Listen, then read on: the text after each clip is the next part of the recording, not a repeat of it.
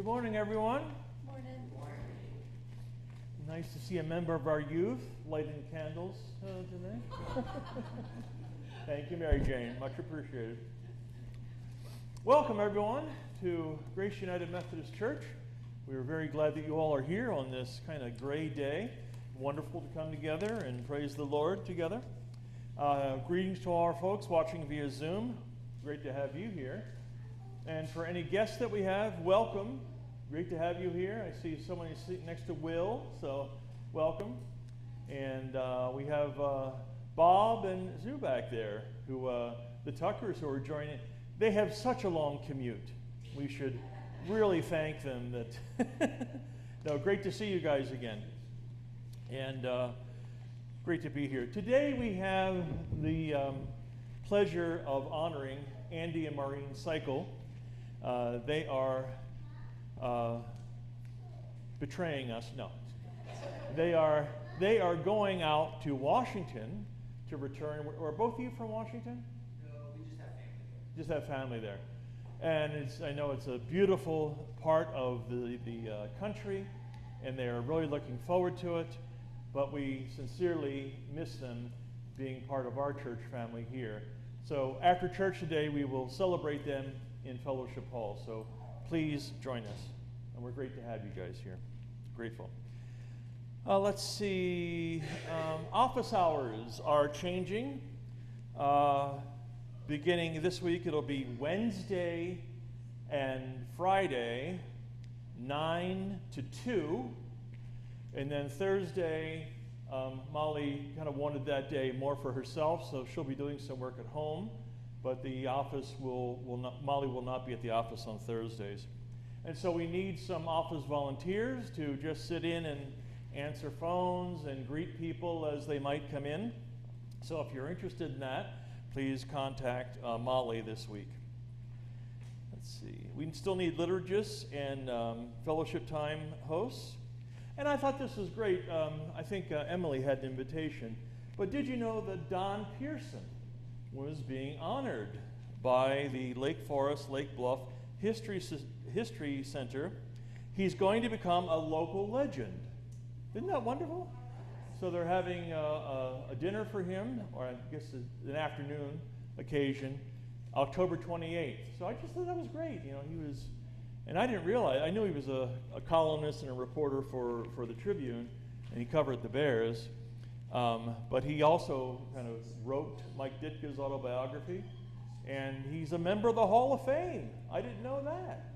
So, uh, very much deserving, and I'm very glad uh, the folks in, at the History Center are doing that. Stacy has uh, something she'd like to say. Thanks, Pastor. Yeah.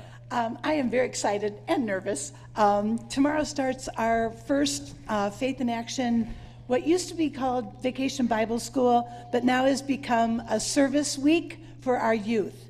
Um, we have 19 kids registered from kindergarten through ninth grade. Um, it's a joint ministry with our church and St. James Lutheran over on Waukegan Road. Um, this year, we're going to be at their location. Next year, we'll be at Grace because um, it's going to go great. Um, I want to uh, particularly thank the Grants, the Five Houses, and Claire Dunnick because they'll be joining us in one of our multi generational service events. Thank you very much. And invite you to come get your car washed. Um, we're going to culminate on Friday with a car wash. Um, it's a free will offering, no big deal, but any proceeds will go to a charity. We think it's Kids Above All, but the kids get to pick it. Um, so it'll be up to them as to where the proceeds of the car wash go to. So 10:30 at St. James on Friday, and Molly was nice enough to make little flyers out there if you want to grab a reminder. Thanks very much, Pastor. Let us now prepare our hearts for worship. Back again. Good morning. Please rise and join me in the call to worship. I will extol you, my God and King, and bless your name. Every, Every day, day I will bless and praise your name forever and ever. Great are you, Lord, and greatly to be praised. Your greatness is unsearchable. One generation shall laud your works to another, and shall declare your mighty acts. On the glorious splendor of your majesty and on your wondrous works I will meditate. I will celebrate the fame of your abundant goodness and shall sing aloud of your righteousness. Our hymn is When Morning Gilds the Skies, as printed in your bulletin.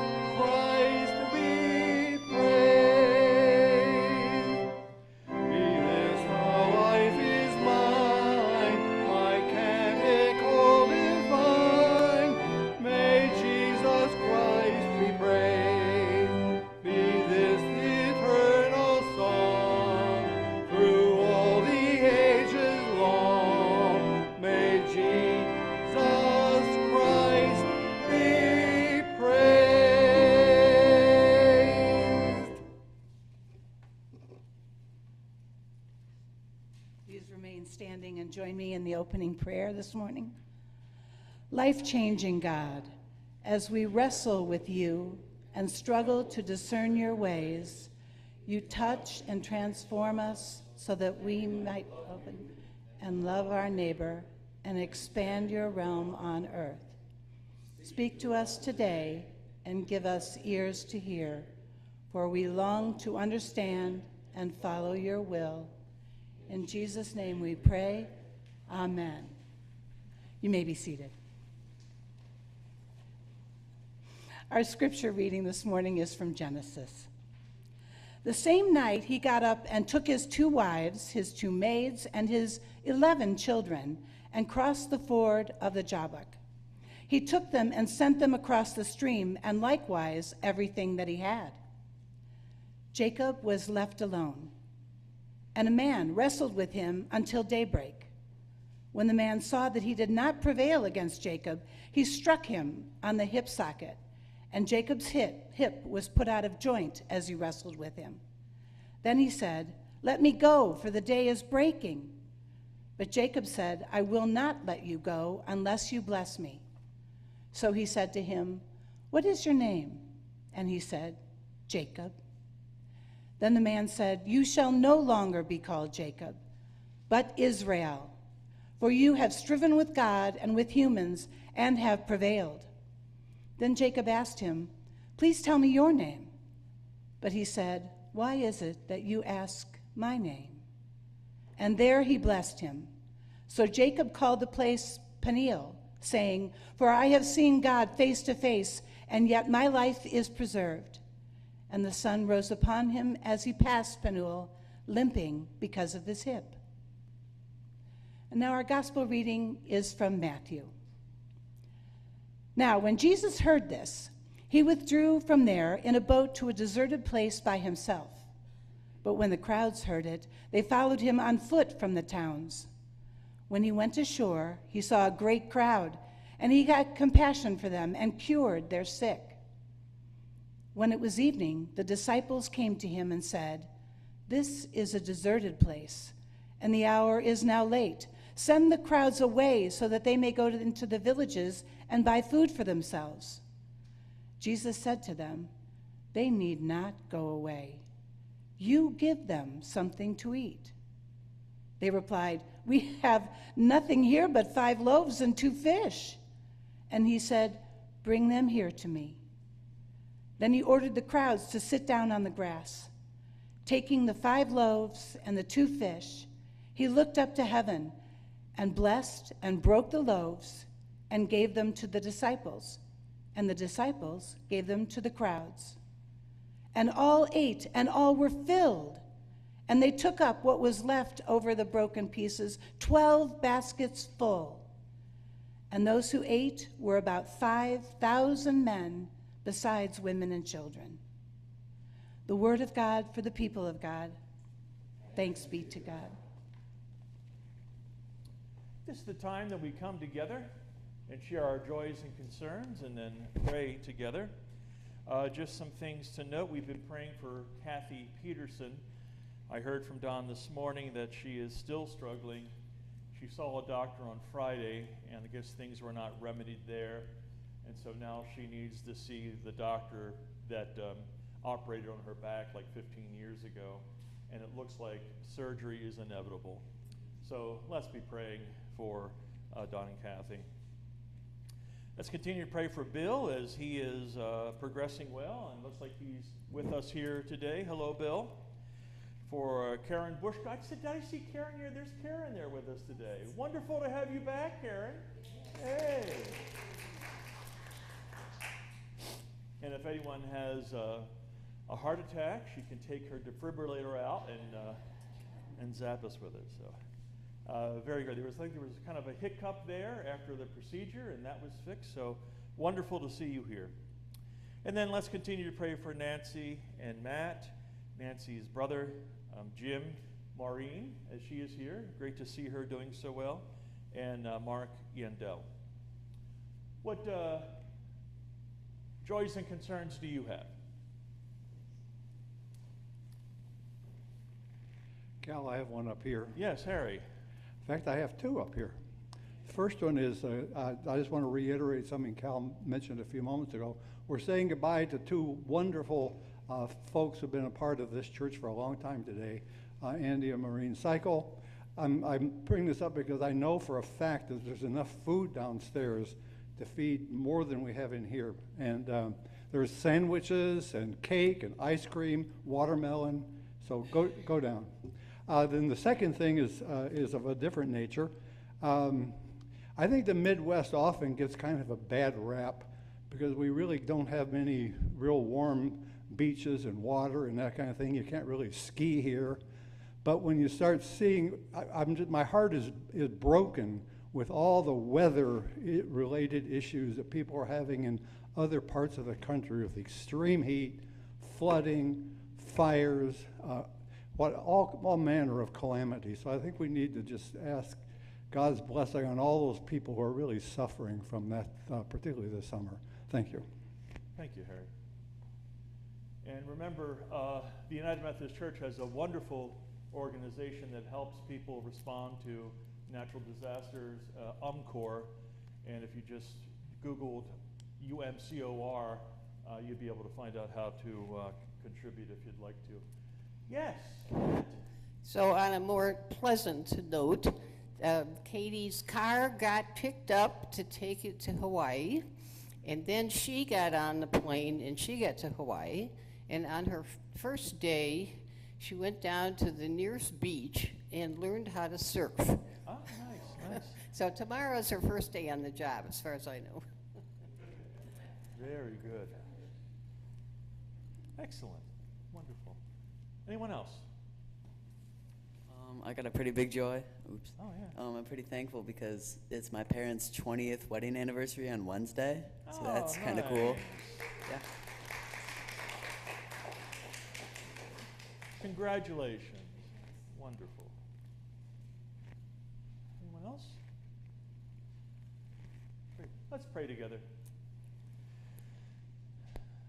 Loving God, you meet us in our greatest need and satisfy us with your divine presence we come to you in gratitude and thanks. We pray for the needs of the nations across the globe, wisdom for leaders, vindication and relief for the oppressed, care for those who are hungry and vulnerable, justice for those who have been wronged. We ask your blessing on your church, your family, our brothers and sisters who belong to you throughout the world. May our giving to others be as plentiful as yours is to us as we seek to fulfill our mission to the world, showing mercy and proclaiming the gospel. Lord, you hear us and hold us and you help us. You are our eternal source of blessing.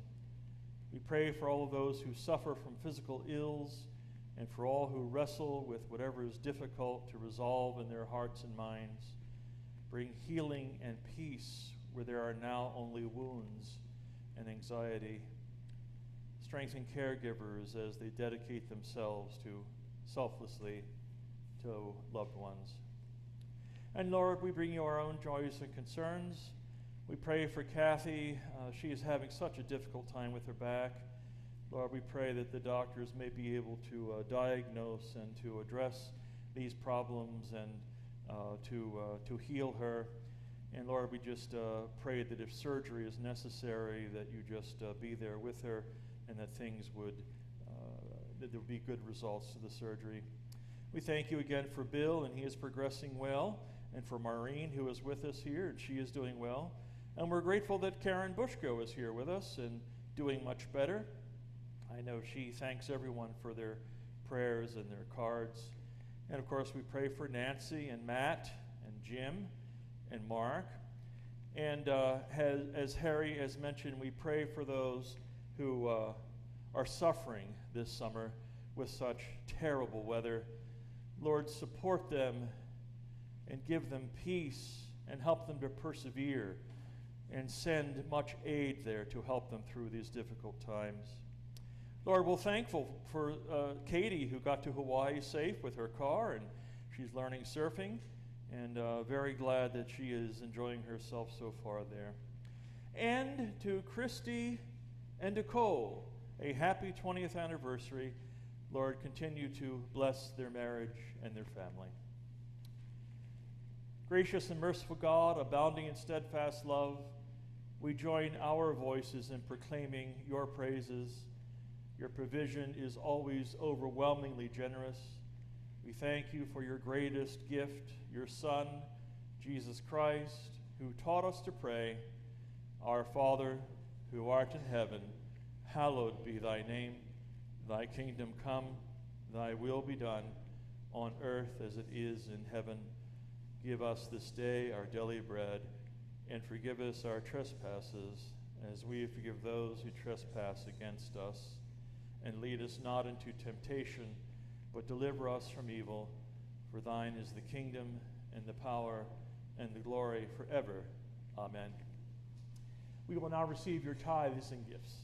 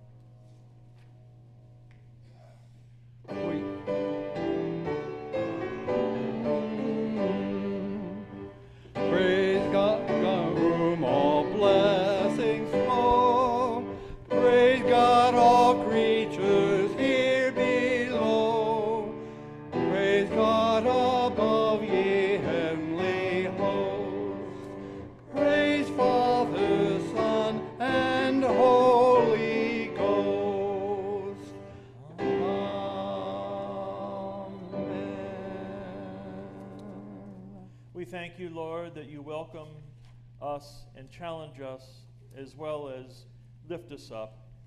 Receive now these gifts you have provided us out of your abundance, that we may continue to multiply blessings from one another in our community. Amen. Amen. May be. Our hymn is Fill My Cup, Lord. We'll sing it through twice.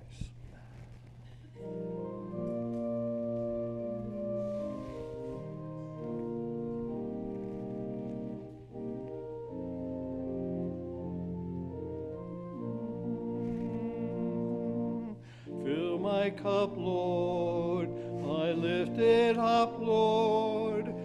Come and quench this thirsting in my soul. Bread of heaven,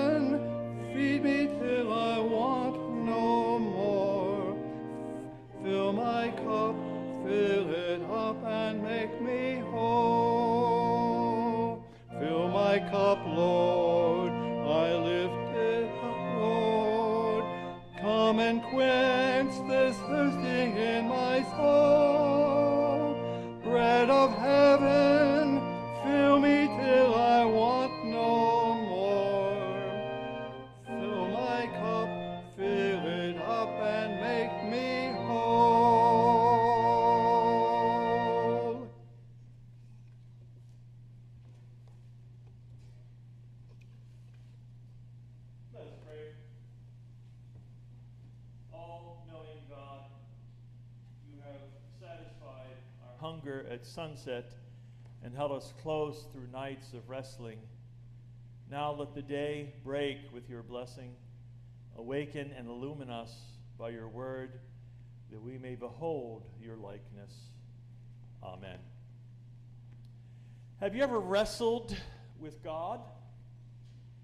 Have you ever confronted him, having a difficult time reconciling his love and care for you with something that has gone terribly wrong after sensing his direction to pursue it? It may be a doubt. Do I really believe? Or our sense of distance between God and us? Where are you, Lord? You struggle to continue something and need insight but that help does not come. Today we find someone who wrestles with God. It's Jacob, one of the great patriarchs found in Genesis. He is part of the foundation of the Jewish faith. Many times in the Hebrew scriptures, the Almighty is described as the God of Abraham, Isaac, and Jacob, those blessed, those blessed in special ways by God. We are at a pivotal point in Jacob's life. He had tricked his brother Esau into giving up his birthright as the oldest son of Isaac. Esau was a hunter, a man of action. He came in from the field one day famished from hours of hard work. On the way, he came across his younger brother, who just so happens to be making a big pot of stew. Give me some of that stew, Jacob. I'm starving. Jacob says, First, sell me your birthright. I'm about to die. What use is a birthright to me? Swear to me first. So Esau swears to him and sells his birthright to Jacob. Esau ate the stew and drank to his fill, and he finally satisfied his appetite. But then he realized what he had done. He had given up all the privileges and blessings of being Isaac's oldest son. Esau had been duped in a moment of weakness. His impulsive nature got the best of him, and he gave up something precious for a quick fix for his tremendous appetite. As you can imagine, this deceitful act churns in Esau's gut day after day, year after year. His rage comes to a boiling point. Esau swears he is going to kill his younger brother. Jacob gets wind of this and flees, living in exile, but realizes he must face Esau at some point. He concocts a bribe for Esau in hopes of pacifying him. Envoys are dispatched to the older brother with this message I have lived with Laban, his father in law, as an alien and stayed until now, and I have oxen, donkeys, flocks, male and female slaves, and I have sent them to you, my Lord, in order that I may find favor with you. The messengers return to Jacob with his brother's response Esau, your brother, is coming to meet you with 400 men. Jacob panics, but he's still plotting. He divides all he possesses slaves, flocks, herds, etc. He is thinking that if Esau finds one group, the other he will be able to escape.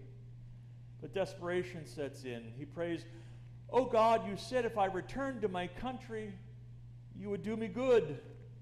Deliver me, please, from the hand of my brother, for I am terrified. He may come and kill us all, mothers as well as children. Yet you have said, I will make your offspring as the sand of the sea, which cannot be counted. This reminds us of God's promises recalled by Abraham as he is about to sacrifice Isaac, if you recall from several weeks ago.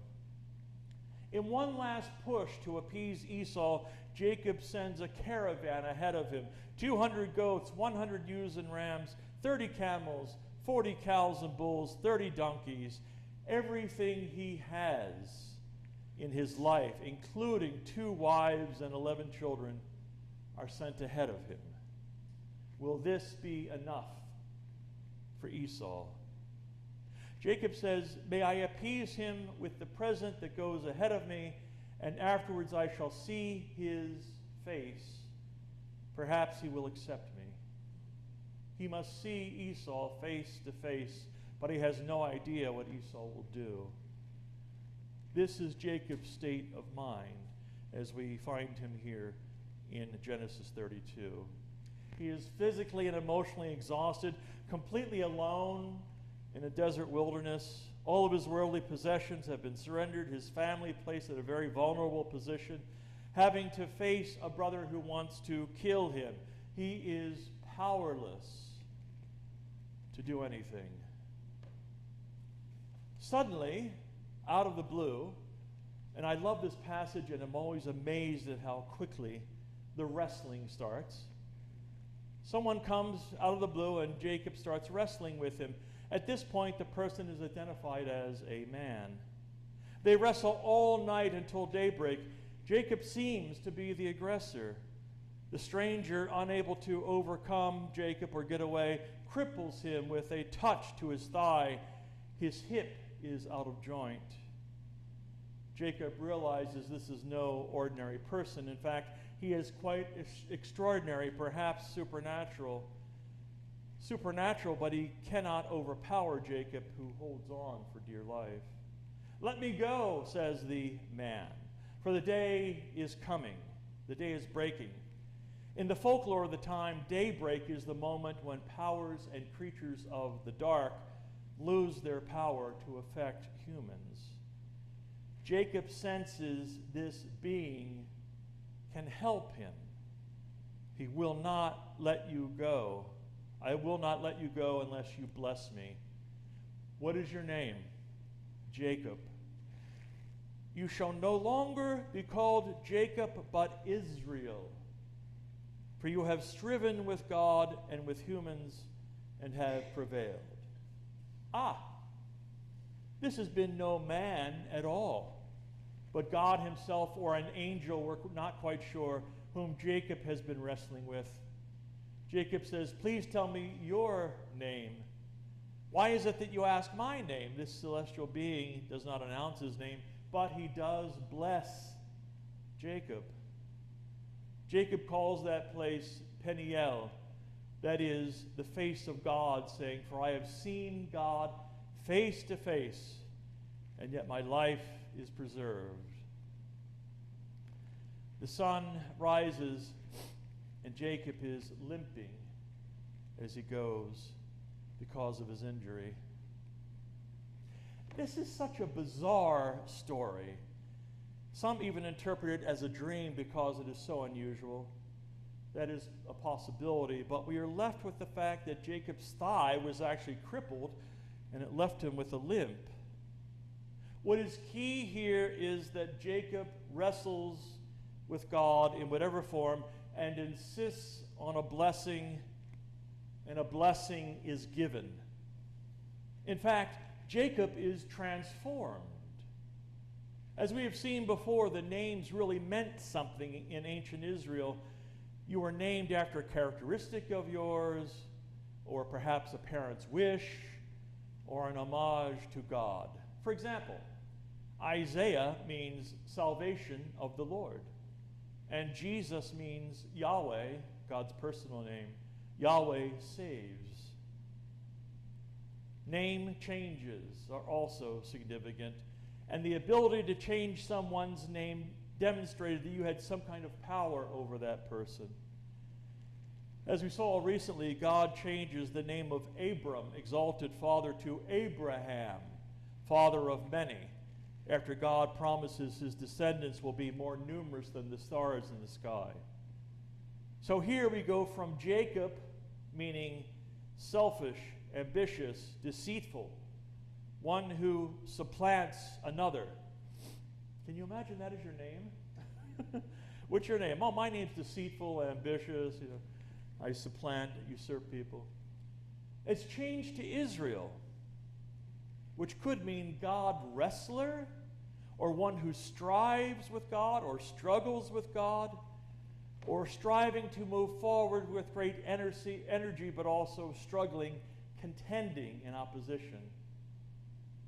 The orientation of Jacob's life changes. His blessing is that he has gone from being centered on himself, selfish, ambitious, deceitful, to being centered on God, striving, struggling with the divine. Esau and Jacob, Israel, are reconciled, and Israel becomes the name of God's people because Jacob's 12 sons become the 12 tribes of the nation of Israel. Several millennia later, the modern Jewish state is still called Israel. As we strive, moving forward with great energy, and as we struggle with God, we are transformed and we see God face to face. Jacob has no idea what will happen if he sees Esau's face he may be forgiven, maybe he won't be forgiven. However, when we, when we see God face to face, we know we will find acceptance and love, even if the experience is not always pleasant.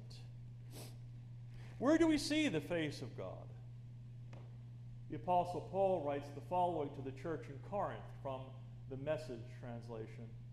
Remember, our message is not about ourselves, we are messengers proclaiming the Lord.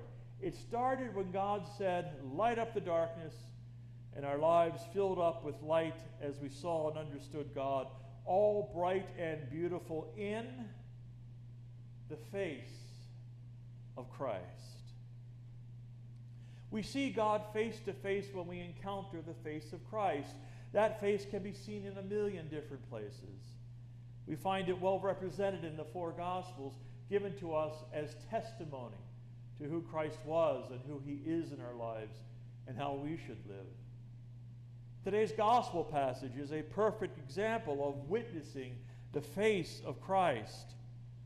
Jesus needs to mourn the death of his cousin John, who has just been beheaded by Herod Antipas.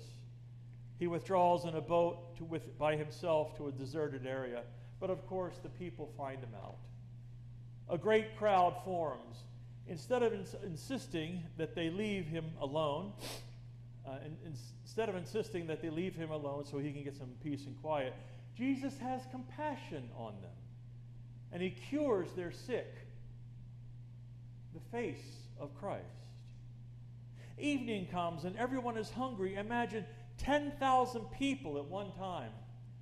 Note the scripture says that there are 5,000 men not counting women and children.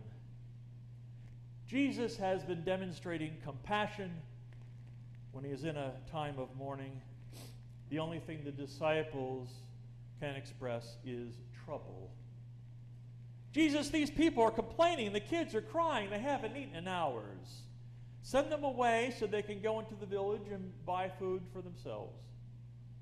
In this place, there would be, not be many villages, and the villages that were nearby would not be able to feed thousands of hungry people. The disciples seem fine with letting these folks fend for themselves. But Jesus says they don't have to go anywhere. You feed them. They replied, You've got to be kidding, Jesus. We have five loaves and two fish. That's it.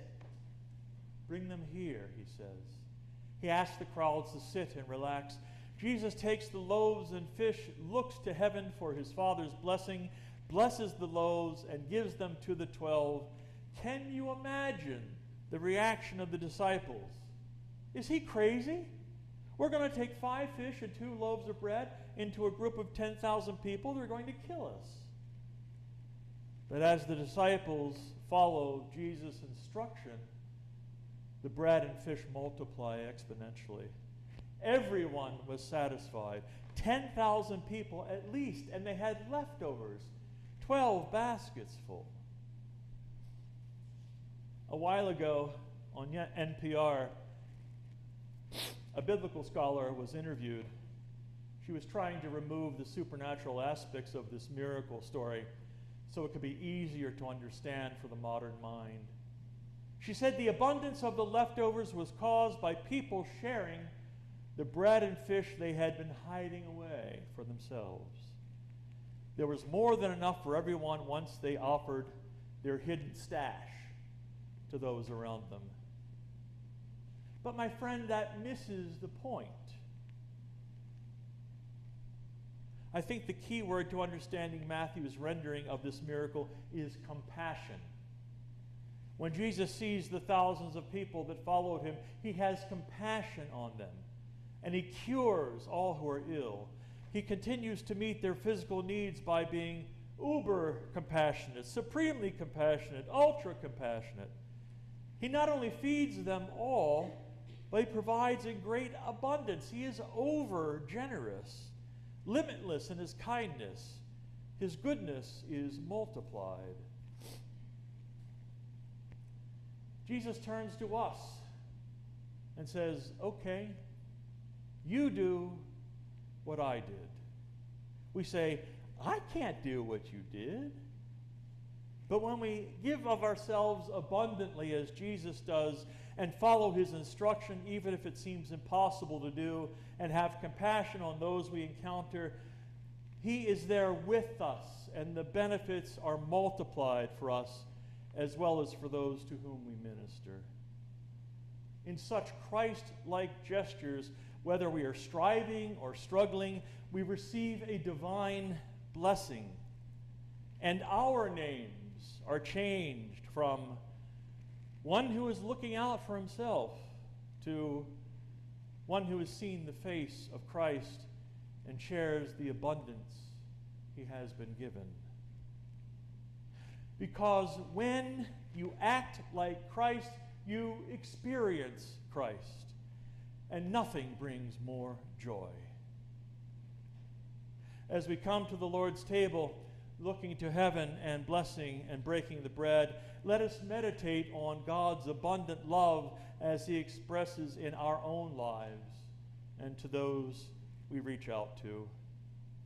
In the midst of daily striving and struggling, expect divine abundance and see the face of Christ. Amen.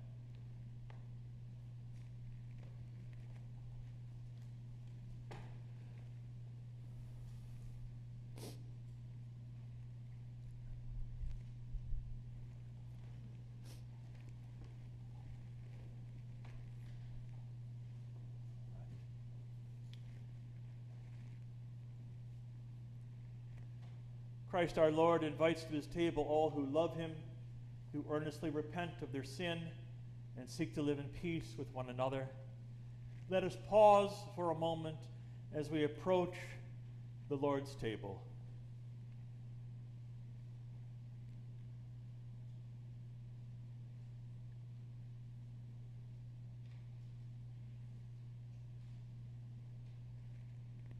Amen.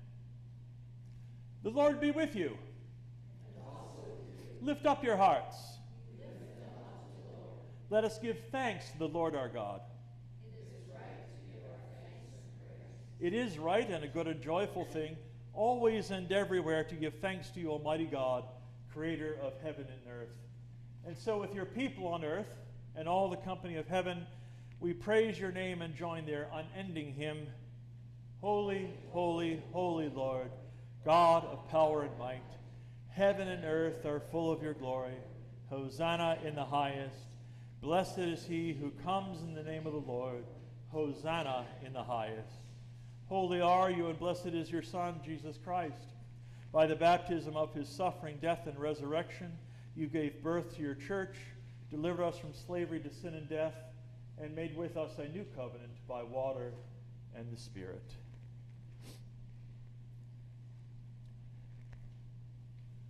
On the night in which he gave himself up for us, he took bread, gave thanks to you, broke the bread, gave it to his disciples, and said, Take, eat. This is my body, which is given for you. Do this in remembrance of me. And when the supper was over, he took the cup, gave thanks to you, gave it to his disciples, and said, Drink from this, all of you. This is my blood of the new covenant, poured out for you and for many for the forgiveness of sins. Do this as often as you drink it in remembrance of me. And so, in remembrance of these, your mighty acts, and mighty acts of Jesus Christ, we offer ourselves in praise and thanksgiving as a holy and living sacrifice in union with Christ's offering for us as we proclaim the mystery of faith. Christ has died, Christ is risen, Christ will come again. Pour out your Spirit on us gathered here and on these gifts of bread and cup. Make them be for us the body and blood of Christ, that we may be for the world the body of Christ, uh, the body of Christ redeemed by his blood. By your Spirit, make us one with Christ, one with each other, and one in ministry to all the world until Christ comes in final victory and we feast at his heavenly banquet. Through your Son, Jesus Christ, with the Holy Spirit, in your holy church, all honor and glory is yours, Almighty God, now and forever. Amen.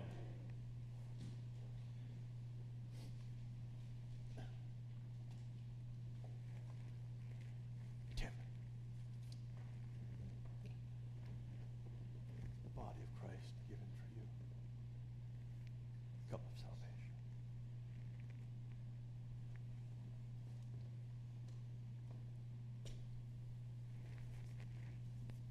I usually forget to mention it, but we do have a gluten-free option, and Stacy will have that.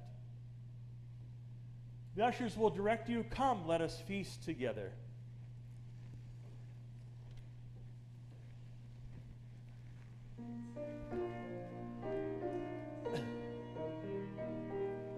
Body of Christ given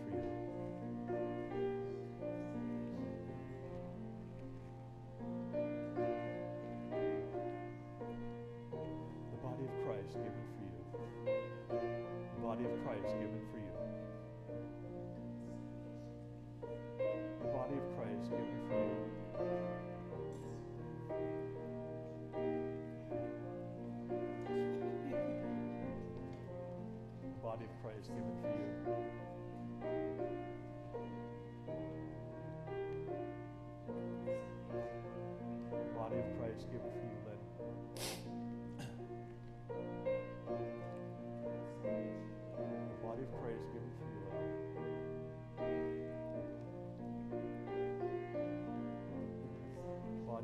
given for you. The body of Christ given for you, Leanna.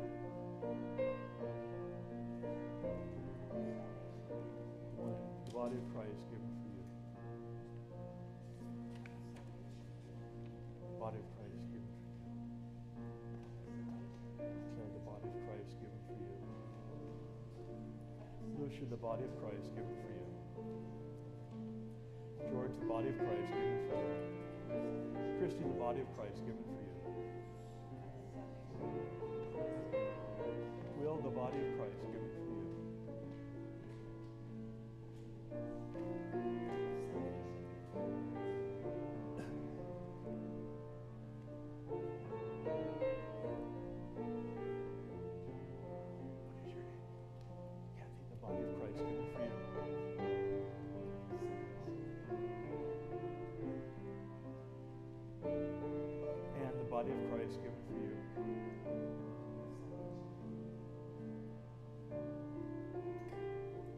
the body of Christ given for you.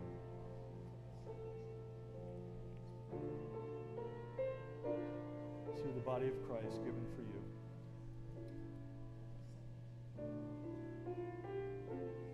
Bob, the body of Christ given for you. Amen.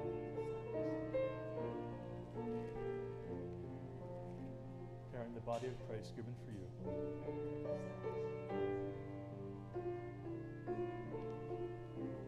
Body of Christ given for you.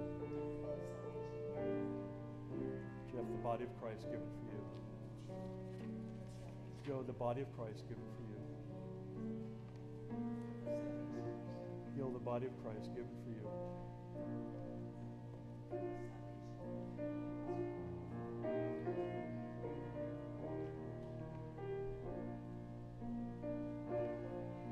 Kathleen, the body of Christ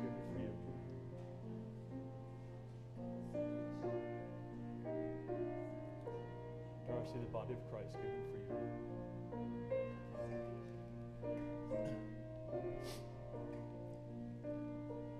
What is your name? Oh, here he is. Body of Christ given for you. Harold, the body of Christ given for you.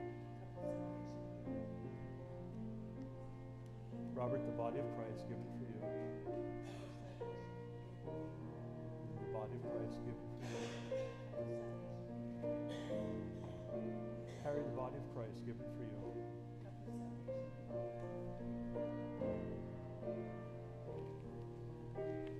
Stacy, the body of Christ given for you. The cup of salvation.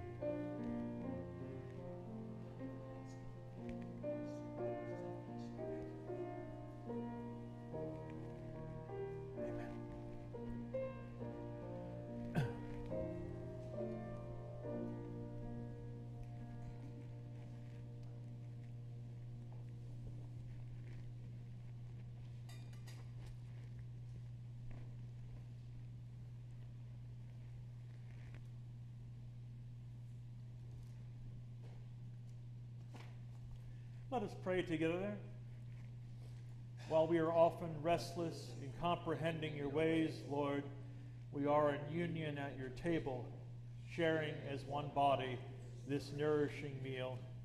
Give us strength for the journey and the longing to follow you on the path that shapes our souls. Amen.